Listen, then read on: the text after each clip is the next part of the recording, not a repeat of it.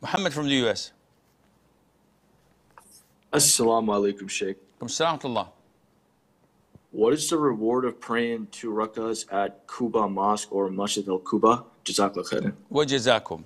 The Prophet, sallallahu alayhi wa sallam, if I'm not mistaken, used to go every Saturday to walk to Quba Masjid and to pray two rak'ahs there. And the authentic hadith prayer of two rak'ahs in Quba Masjid is equivalent to performing a umrah. So it is highly recommended whenever you're in Medina to visit Quba and to pray two rak'ahs there.